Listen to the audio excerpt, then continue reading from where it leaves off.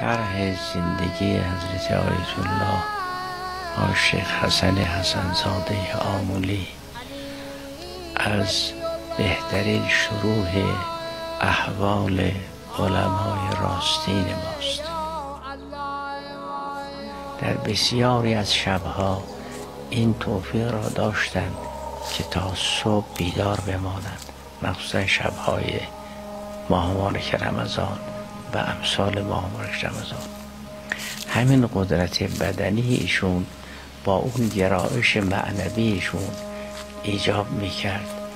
سه ماه را مرتب روزه بگیرن یعنی رجب و شعبان و ماه رمضان را و اون ابیات معروف ماه رمضان آمد. نور دل و جان آمد. بدیشون خیلی شیرین. بنده خیلی تماشایی چه درخت؟ ها عجب.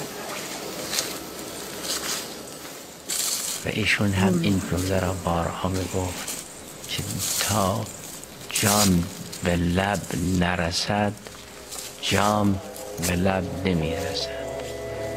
تا انسان کوشش نکند جام وصل را به لب او نمیرساند.